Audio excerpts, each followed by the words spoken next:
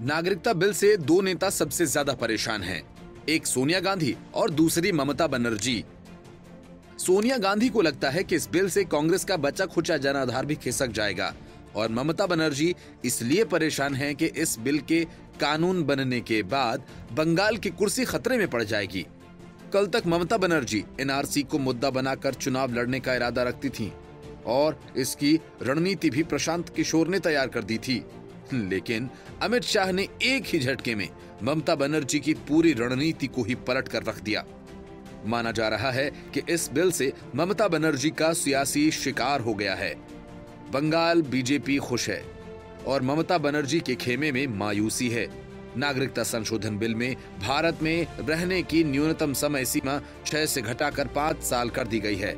यानी दिसंबर 2014 से पहले भारत आए लोगों की नागरिकता पक्की बंगाल बीजेपी अध्यक्ष दिलीप घोष कहते हैं कि इस बिल के लोकसभा में पास होने से वे बहुत खुश हैं। उन्होंने कहा कि ममता बनर्जी ने शरणार्थियों के वोट तो हासिल कर लिए, लेकिन उन्हें नागरिकता देने पर कभी विचार नहीं किया। उन्होंने कहा कि गृह मंत्री अमित शाह से शरणार्थियों ने इस वेटिंग पीरियड को घटाने की बात कही थी, ताकि उनके बीच कोई संदेह न रहे। बंगाल बीजेपी के महासचिव सायंतनु बसु ने कहा कि इस विधेयक से ममता बनर्जी के हौसले ठंडे पड़ गए हैं। वह शरणार्थियों को डरा रही थी। उन्हें अपने अधिकार छोड़ने होंगे। नागरिकता के आवेदन के लिए छह साल इंतज़ार करना होगा।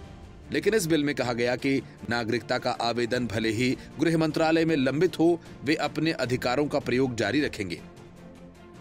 असल में, ममता बनर्जी का यही खेल था कि शरणार्थियों को जैसे तैसे झूठी कहानियाँ सुनाकर बीजेपी से दूर रखा जाए।